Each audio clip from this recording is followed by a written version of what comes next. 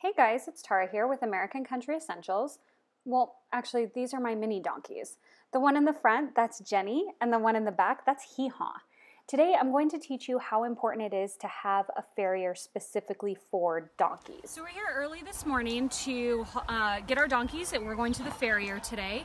Uh, so we got to get them, and we have to uh, halter them and put them in the trailer. There's several ways to halter your donkeys um, and catch them. We prefer the bribing method. It works really well. Donkeys are extremely intelligent and they have a really good memory. So they know that they see the truck and trailer. They're the only two out here. They know that they're probably going somewhere. They're even watching me right now, uh, not really wanting to do this. So uh, let's go grab them and uh, put them in the trailer.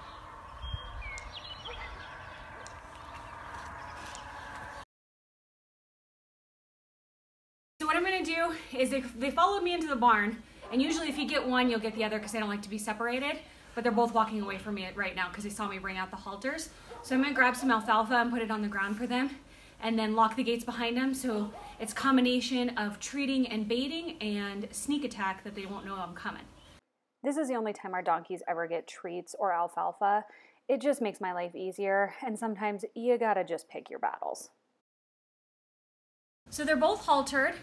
So now all I have to do is bring them up to the trailer and uh, load them in. That seems easy, but sometimes they don't want to go in the trailer. So next task is to actually get them in the trailer. Come on, Chris. Come on. We let them uh, just loose in here. They're safe that way. And so I'll just take off the leads and then close the door behind them. And hope they don't make a, an escape.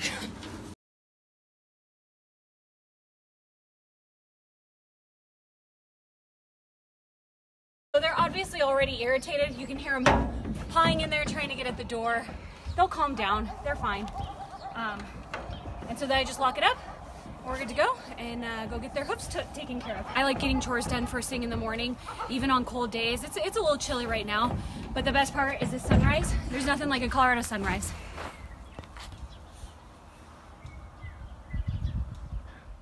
One of the greatest things about living out in the country is how far away we are from everybody.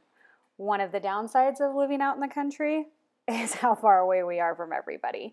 Our farrier lives about 45 minutes away from us, so this is usually a day's trip for us. Uh, we'll go into town, get some errands done, and uh, get the donkey's feet taken care of as well. We're uh, out here with uh, Ross Keller. this is the owner and operator of Keller Equine Services. Him and his wife Kay have over 40 years uh, experience with uh, donkey and equine training and farrier. Uh, we're out here with a bunch of his donkeys, and uh, I just kind of want you to introduce us to some of these guys and what do you use all of them for? Each of these donkeys is, has one or more jobs that they're really good at. Um, from from Buster here, who is a good saddle donkey. He's 15 hands. Um, he's as big as a horse. He's as big as a horse. Guinness here knows how to drive and pack, and he can carry kids. Okay.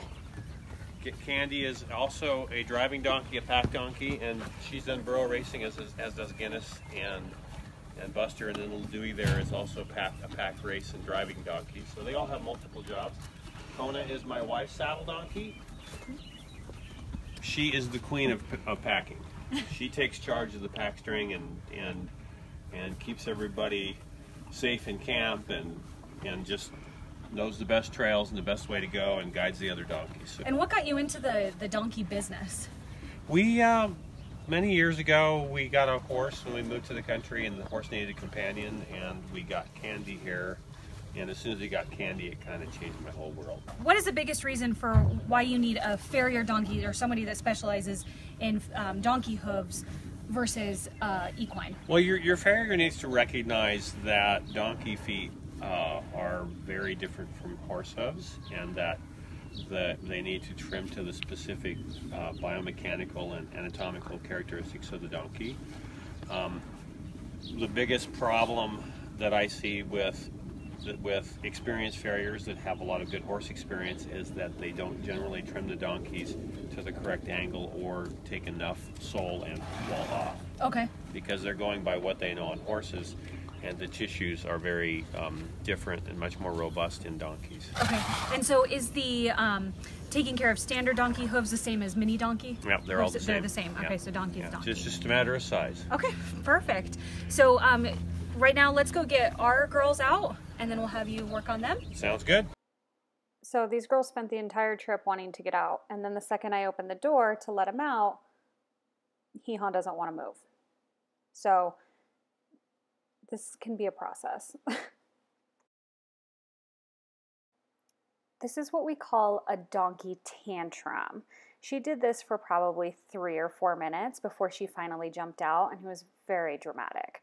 So um, now we're headed over to the spot where Ross will work on their hooves.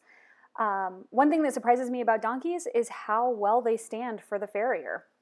Uh, they might get distracted by the grass, like we he trims right next to grass, so they might get distracted by that.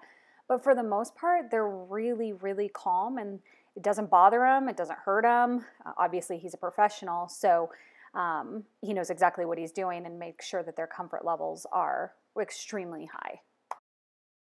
We've been going to Ross for about a year now. About a year ago, um, all of a sudden we started noticing that, that this donkey here, um, she started walking real slow in the pasture. And, and it's not uncommon for us to see them running around and chasing each other and things along those lines, but she started walking real slow. And it, we especially noticed it when she started making turns. Um, so, and we had her on a regular hoof care farrier with our horse care, uh, horse farrier. He'd come out every eight weeks and he'd work on the donkeys, and so hooves weren't really something that I even thought about. Um, I was actually worried about her legs, that she had something broken or sprained or something along those lines. So we took her to the vet. And um, when we took her to the vet, they actually said that her hooves looked overgrown. And again, I kind of dismissed it because she's been worked on every eight weeks. Um, but then after doing some research, I actually learned that it's really important to have somebody that specializes in donkeys versus horses. And it was no no fault of our farrier. He just didn't know better, as Ross was explaining earlier. Um, so I started doing some research, and I actually found Ross and uh, called him. He knew exactly what I was talking about. Uh, said you know that it was really important for somebody that specializes in donkeys for her for the, him to actually look at her and um, her lameness started getting worse and worse. She was laying down a lot, really started concerning me. So we brought her out to Ross, and um, he clipped a lot off of her. And uh, now he said, you know, she's about 80 to 90 percent better than what she was a year ago. She runs around now. I, I hardly see any kind of lameness when she walks or anything along those lines. So um, we learned firsthand that it was really important to have somebody that specializes in donkeys work on her, even mini donkeys, standard donkeys, same thing. So that's how we ended up um, actually being clients of uh, Ross's. So one of the things you'll see on on um, laminitic horses, donkeys, and mules is that typically the heel grows at a more at a faster rate than the toe, and so you end up with a long underrun heel, and, in extreme cases you can even see a big dish in the dorsal wall where the hoof is starting to curl up like a little slipper. And you can see in trimming her, we're looking at how high this hoof should be, not so much how long it should be. The frog grows to a certain a, what we call the optimum height, and then past that point it degrades, and that there's always a very distinct line across the frog that kind of tells you where the proper trim height should be in the heel. And then we're looking for what's called functional sole or a kind of waxy sole. Determine how much sole depth the animal should have and how much sole we should take away.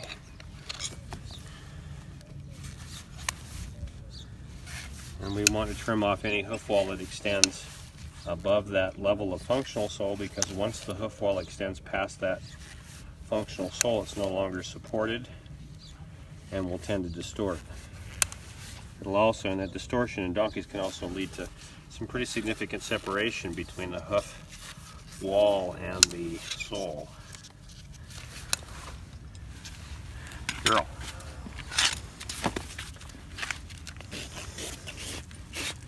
That's one of the things about donkey feet too, is they're extremely robust. The environment they're they're naturally adapted to is very rough terrain, so their feet are are adapted to grow pretty vigorously to keep up with the wear from all the travel those wild donkeys would be doing on on over rough terrain. Mm-hmm. This process is going to be repeated for all four hooves. I'm going to link Ross's website below in case you're in the area and you need a donkey farrier or you need to call him and have any kind of questions. Please do not attempt to do this work on your own. It is extremely important. A professional always works on any kind of hoof, whether it be horse or donkey. Due to Hee Haw's laminitis, her appointment is significantly longer than Jenny's. So now it's Jenny's turn. She usually gets done pretty quick. So Jenny here does not have any evidence of ever having had um, laminitis, so her feet are quite typical and normal. And you can see by comparison how much less growth there is on this foot. Ross estimates that he took about a half an inch of growth off of Hee Haw, and he's only going to have to take a quarter inch off of Jenny. So this is why it's important for them to stay on a regular schedule. And it also just goes to show you that each donkey can grow their hooves different than the next.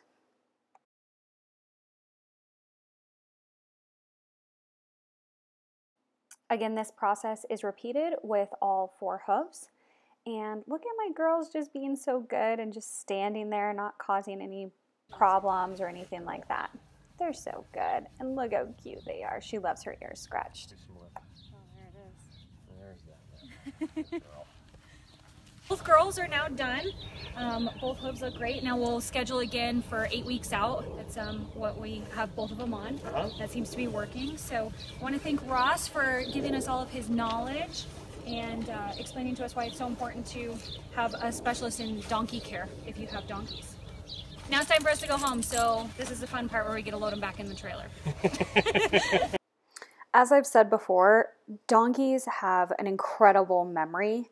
Some people think that they're just ornery, which that can be perceived as being ornery, but it's actually that they just have this really good memory that they remember that they don't want to go in the trailer. Like I said, that our drive is about 45 minutes. Even though they're safe, they would much rather be out in the open. He's got a lot of good grass. So they don't necessarily want to go in there. They were good this time. I think it's because they knew they were being filmed. But then also my problem is with the trailer is I don't really know how to work the door and I always mess it up. So that can get frustrating.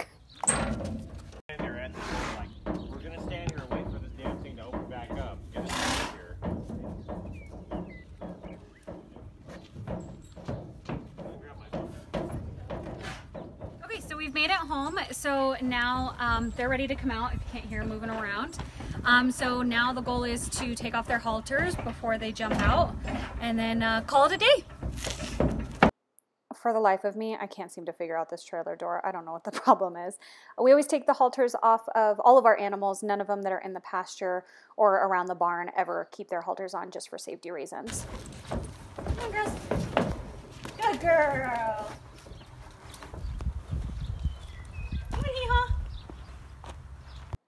This was her fourth tantrum of the day. Uh, there's really nothing you can do. You just watch her. It, it's amusing.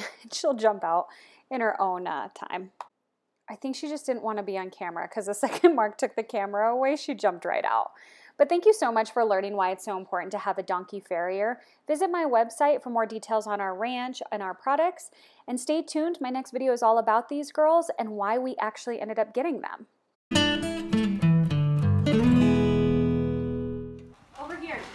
Camera. girls, girls.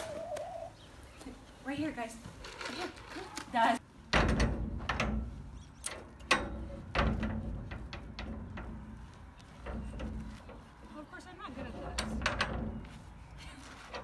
Oh?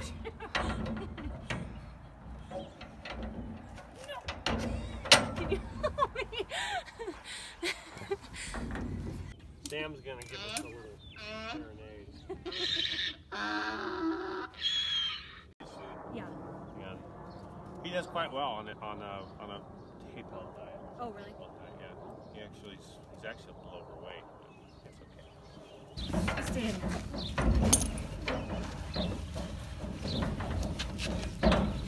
Good job, sisters.